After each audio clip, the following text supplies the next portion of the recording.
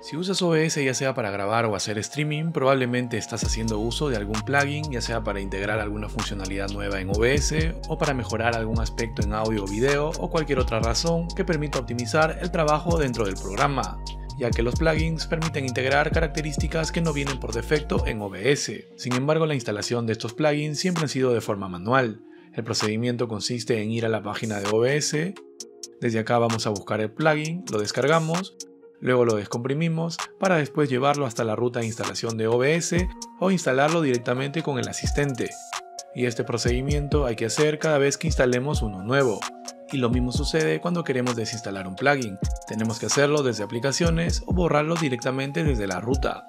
Por ejemplo, ahora mismo con la última versión de OBS, algunos plugins ya no son compatibles como StringFX. En mi caso me muestra la siguiente advertencia, por lo que me tocaría desinstalarlo y volver a instalar la última versión y este procedimiento definitivamente es engorroso.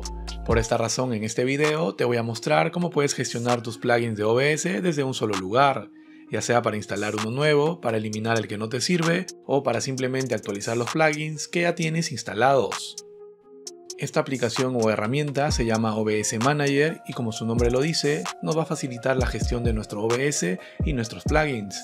Para obtenerlo vamos a ir a su página oficial, que por cierto voy a estar dejando el link en la descripción. Acá simplemente vamos a dar donde dice descargar para Windows, lo ejecutamos y lo instalamos. Su instalación es súper sencilla. Una vez instalado, al abrir, la aplicación tiene esta interfaz. Como ven, el programa está en inglés, pero no se preocupen que es súper sencillo de usar. Antes de mostrarles las funcionalidades, si nos vamos acá a opciones, vamos a ver que el programa nos toma por defecto la ruta donde se instala OBS. En mi caso lo tengo en el disco C, que como pueden ver es la ruta por defecto. Si ustedes lo tienen en otra ruta, acá deberán de especificarlo. Ahora si volvemos a la sección principal, acá en la parte superior nos va a mostrar las distintas pestañas, donde por defecto está el tab Descubrimiento, el cual aquí nos va a listar los principales plugins compatibles con OBS, como se aprecia, nosotros desde aquí directamente lo podemos instalar y si queremos uno en concreto, en la barra escribimos el nombre y lo buscamos. Si por ejemplo quisiera instalar este plugin, simplemente le voy a dar donde dice instalar. En este caso me va a pedir que cierre OBS ya que actualmente lo estoy usando para grabar. Entonces lo cerramos y a continuación le damos en instalar. Y como pueden apreciar, así de sencillo, ya lo hemos instalado. Ahora si nos vamos a la pestaña Update, acá nos va a listar todos los plugins que tenemos instalados y los cuales tienen una actualización disponible. Y como pueden apreciar, al seleccionarlo, en la parte inferior se habilita la opción Update. Y de la misma forma, si seleccionamos todos los plugins, podemos actualizar a todos de golpe. En mi caso, para esta demostración, voy a actualizar este. Entonces lo seleccionamos y le doy en actualizar. Y simplemente esperamos mientras termina el proceso de actualización. Como pueden apreciar, una vez actualizado, se va a quitar de la lista. Y como ven, ahora solo me queda actualizar este. Y en el lado derecho nos muestra los cambios de la nueva versión.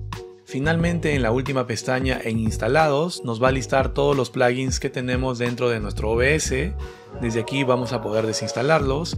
Y si le damos clic en cualquiera de ellos, vemos que nos va a mostrar los detalles del plugin seleccionado. Y para eliminar o desinstalar el plugin, vamos a hacerlo desde esta opción nos va a pedir confirmación, le damos en desinstalar y esperamos a que lo borre. Y así de fácil hemos eliminado este plugin de nuestro OBS. Realmente esta herramienta es bastante útil si eres usuario de OBS, ya que te va a permitir gestionar todos tus plugins fácilmente. El único detalle, como ya dije, es que está en inglés. Esperemos que pronto agreguen la opción de cambiar idioma para que nos facilite la lectura de la información de los plugins. Y bien, esto sería la revisión de esta herramienta, lo recomiendo si quieres facilitarte la vida con OBS. Hasta acá con el video, si tienen dudas déjenmelo en los comentarios, no se olviden de dejar su like y de suscribirse al canal, nos vemos en el próximo video.